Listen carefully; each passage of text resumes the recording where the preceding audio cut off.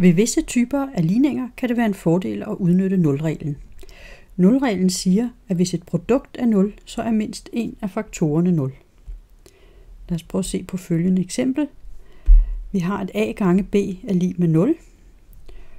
Og øh, a gange b, det er så produktet. Et produkt, det er nogle størrelser, der bliver ganget sammen. Og her har vi faktorerne, det er a og b. Så hvis a gange b skal være lige med 0, jamen så må enten a være lige med 0, eller b være lige med 0, eller eventuelt dem begge to. Det her v, det er et logisk eller-tegn. Altså det betyder bare eller. Lad os se på et par eksempler. Her har vi en ligning x minus 1, parentes gange x minus 2, parentes er lige med 0. Så kan vi bruge nulreglen, som siger, at den her ligning er ens betydende med, at x minus 1 er lige med 0, eller x minus 2 er lige med 0.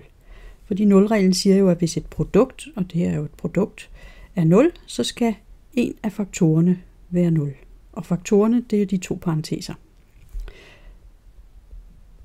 Jeg forbinder dem med, med det her v-tegn, altså logisk eller. Øhm, og så kan jeg løse de to meget simplere ligninger hver for sig. At x minus 1 er lige med 0, jamen det må jo være ens betydende med, at x er lige med 1. Eller, og så tager vi den anden ligning, x minus 2 lige med 0, jamen der er x altså lige med 2. Og så har vi faktisk løst ligningen.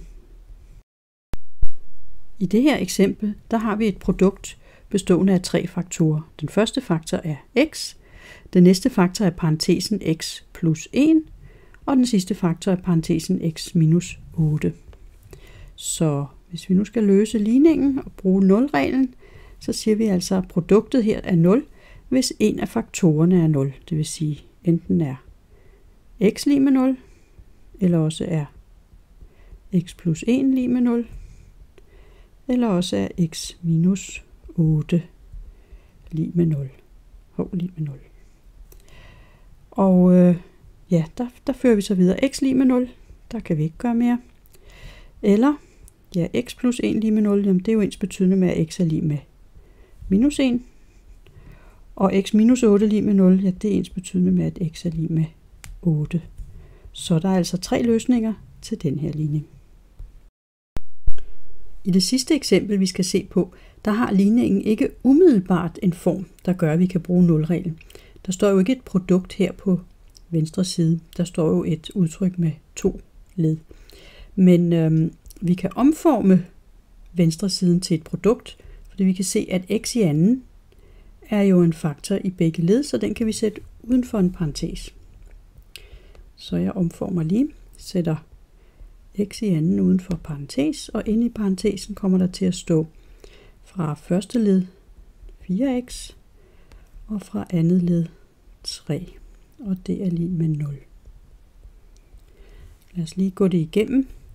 Hvis man er i tvivl om det er rigtigt, så kan vi jo prøve at gange ind. x i anden gange 4x, det er jo 4x i tredje, og x i anden gange minus 3, det er minus 3x i anden. Så der står altså det samme på venstre side i den øverste ligning og på venstre side her.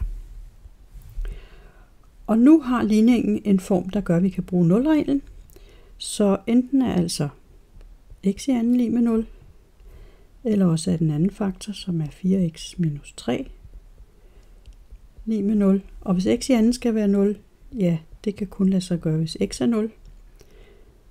Og den anden ligning har løsningen x lige med 3 fjerdedele. Så nu har vi altså fået løst ligningen, så selvom den umiddelbart ikke så ud til at kunne løses ved hjælp af nulreglen, så har vi kunne omforme den til produkt lige med 0 og bruge nulreglen. Nulreglen siger altså, at hvis et produkt er 0, så er en eller flere af faktorerne lige med 0.